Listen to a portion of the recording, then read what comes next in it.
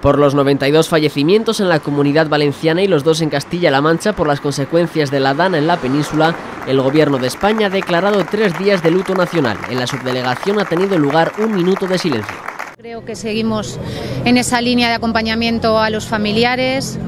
eh, a los seres queridos, a todas aquellas personas que han sufrido pérdidas en estos días y en especialmente en Castilla-La Mancha, en Albacete y en Cuenca todo nuestro compromiso de, de acompañamiento.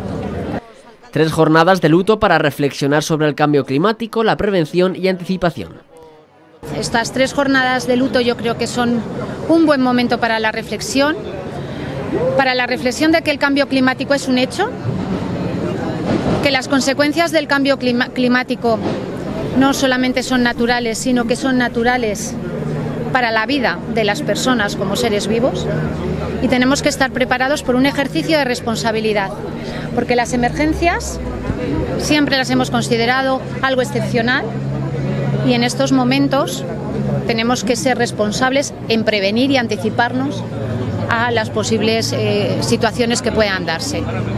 Además de la capital, los ayuntamientos de Cabanillas, Marchamalo, Azuqueca y Alovera, entre muchos otros, se han sumado al minuto de silencio organizado por la Federación Española de Municipios y Provincias. También la Universidad de Alcalá y las Cortes de Castilla-La Mancha en el Palacio de Fonsalida.